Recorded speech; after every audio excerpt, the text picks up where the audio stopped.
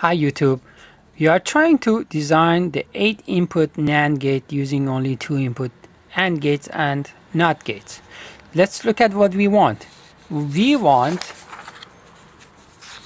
this NAND gate with the inputs of A through H and the out should be the multiplication because it's an AND gate of all the inputs and inverted so A through H inverted However, we don't have that, but we have two input AND gates.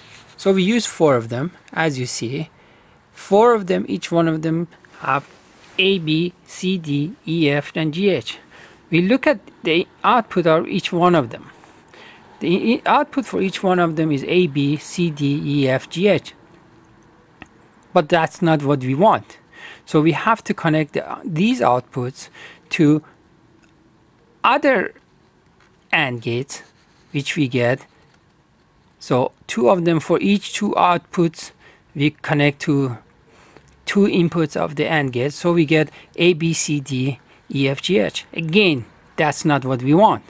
So we have to connect again to an, a new AND gate which we get A B C D E F G H. But this is not what we want again. So we have to connect all of them uh, the, the output for all of them to a new AND gate, which is what we get.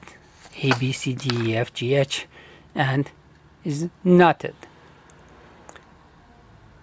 So now we have to count the number of pins. As you see, each one of them has two pins, two, four, six, eight, and the output has, and again, the input to the next is going to be 2 so 8 4 12 2 14 and then to NOT gate is 15 that's the minimum you can get. Thank you